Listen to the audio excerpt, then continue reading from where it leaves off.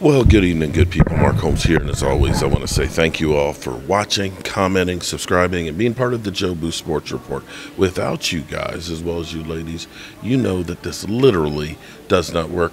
I am in Vermont right now, and um, the Wi Fi in my room does not work good enough for me to be able to live stream from up there or to be able to upload. It literally takes hours. Unfortunately, the Wi Fi works much better in the lobby, but if you see what I have here to bring down the hookup between the microphone, the mixer, the streaming deck, uh, the Wi Fi camera, of course, the charger for the unit, all of the cables that have to be hooked up in order to do this, you'd understand that after giving back and driving basically 50 miles to the job site each day, that I just have not been able to do it. I've just been doing everything off of my cell phone and uh, been okay with that, figuring you guys have seen enough of me and you're okay. But I was sitting here getting ready for my live stream because we've done this rain or shine, no matter where I am, with the uh, with the channel members going on, well, this is the fourth season now of doing this after the 2020 season. Um, it originally started in 23, excuse me, in 2020 after the season, basically for us to cry on each other's shoulder because the Cowboys were just that bad. And we've continued it every sat- uh, Saturday during the season and Sunday in the off season as a chance for us to get together and cry about the Dallas Cowboys. So there's that. Um, I'm sitting here because my man Game Time Brian has got uh, his live stream going on, and you know it's it bugs me because we're always talking about how much Dak Prescott sucks, and I know we don't have the playoff success that I would wish that we did. I want to see him win a Super Bowl. Trust me, I do. But you know, I keep hearing, "Well, Dak sucks, man. Dak, Dak in that game, man. You know, he didn't do jack crap. He should have elevated and won the game."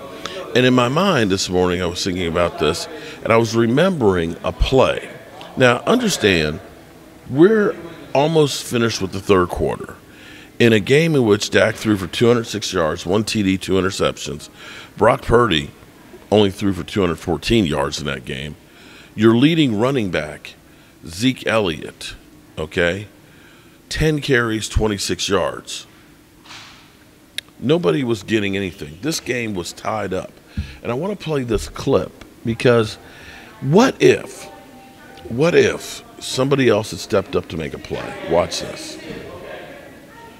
You know it was something he was probably telling him. Yeah, you're right. That's this type of game, too. Well, he's going to take one play.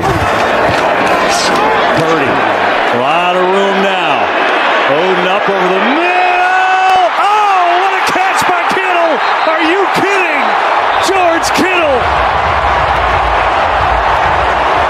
Well, I'll tell you what, EA. That might be a play to get him a little life and a little confidence. You're going to see Kittle. He's not even really part of the route. This is just scramble drill. Brock Purdy, Brock Purdy kind of breaks the cardinal rule. You never throw the ball back across the middle of the field. But in this case, George Kittle makes a circus one-hand catch. Maybe that can be a little. What if, what if instead of Diggs kind of rolling out of there, I don't, I, listen, George Kittle's a big man.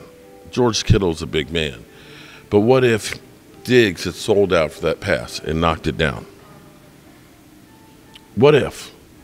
Because now, You know it was something in a game that's tight, 9 9, or better yet, sold out and ended up getting a tip drill and getting that interception. Instead of being second and 10 from their 21, they're about at midfield.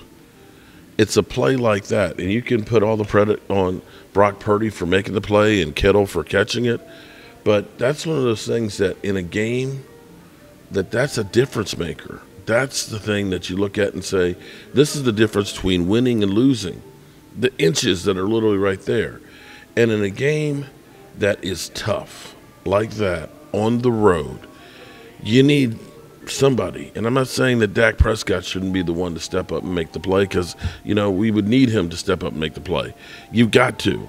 But it can't be just one guy. You got to have your running back do better than 10 rushes for 26 yards. You got to have your defense be able to get those turnovers. You've got to be able to stop them on a drive and give your quarterback an opportunity just a little bit sooner. What if Randy Gregory doesn't tackle, doesn't tackle an offensive lineman and get 15 yards? All these little pieces add up to a loss. And you have to understand that you win as a team and you lose as a team. And there's no way around that. And I wish people would understand that more. So um, it is what it is. And um, I'm doing a test here to see if, in fact, my system works here a half an hour before my live stream. But that kind of just bugged me listening to everybody that just says, you know, just Dak, just Dak. You know, I agree. Dak didn't have a great game. But we can't just look at one guy when it comes to the playoffs because, you know, when you looked at the Super Bowl, it wasn't just Pat Mahomes that won the Super Bowl. Pat Mahomes throws an interception in his red zone down 10 nothing, just about in his red zone. And his defense steps up, makes a play, and gives him a chance to make up for it. And that's the difference. Your whole team, all phases have to play well to get the job done. it gets hard sometimes being a Cowboy fan. And if you think that the Cowboys are better off just getting rid of him and just starting over, maybe you get lucky and you get lightning in a bottle and you're able to find somebody who is, you know, better than Dak Prescott. Um, but players, great quarterbacks, are few and far between. In the 60 plus years 64 years of the Cowboys' history.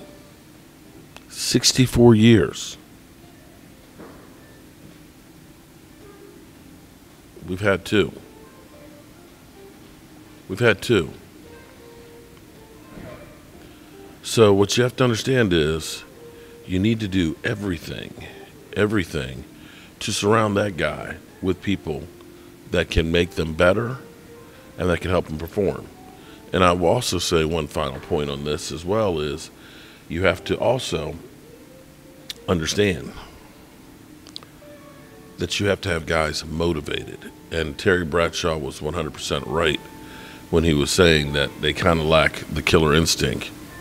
And because we've been put up on this pedestal for so long, so often, that it always seems like, yeah, well, the Cowboys, all we got to do is show up because we them boys. It's not quite like that in the real world. All right, good people. We'll see if this uploads, and um, we will see you guys at five. Peace. Just got another weapon and CeeDee Lamb is a weapon in every shape of the word. I fire Howie. Fucking fire Motherfucker! Stupid motherfucker! What an idiot! What an idiot! Dallas has Amari Cooper and Gallup, but we don't need a receiver. Are you kidding me? I don't want Justin Jefferson. He's ass. He's stupid. I fire his ass. I fire his ass. I mean, Howie's got to be stupid. What are you doing? You just let Dallas take him. You.